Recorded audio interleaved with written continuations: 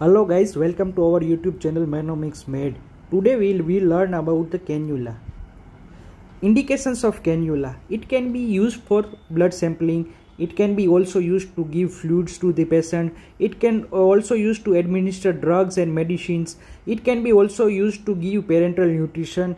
It can be also used pre-operatively in surgical theater. So you have to remember this much indications of cannula.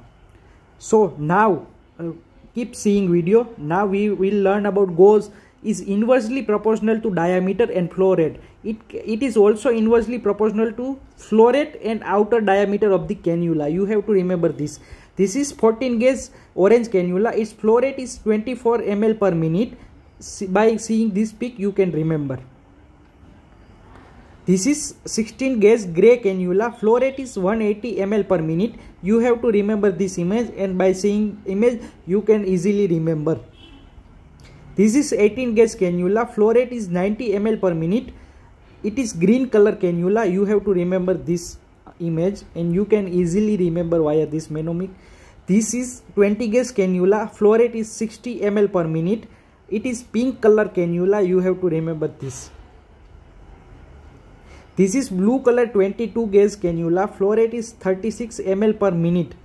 I have already said uh, is uh, uh, it is inversely proportional to size. So this is 24 gauge cannula. 20 its flow rate is 20 ml per minute and it is also mainly used for pediatric age group. It is yellow colored cannula. You have to remember. This is biggest 26 gauge cannula, violet color and flow rate is 13 ml per minute.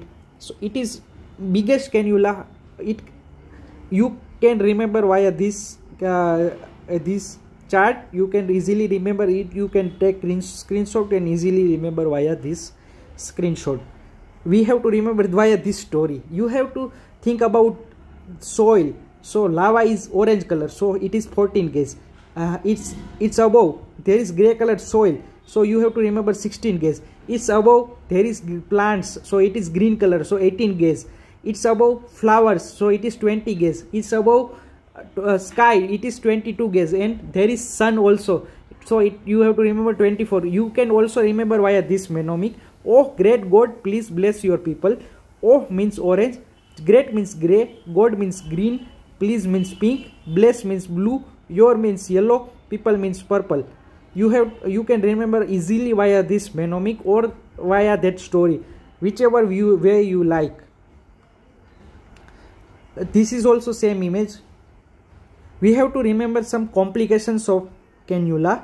Uh, so most common complication is superficial thrombophlebitis. In, it can also lead to infiltration extravasation. There is systemic compl complications also. It can also lead to hematoma pulmonary embolism air embolism. It can also lead to systemic infection allergic reaction.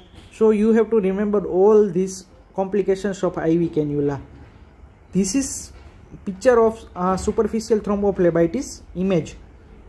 Thanks for thanks for watching the video. Please like share and subscribe to the our channel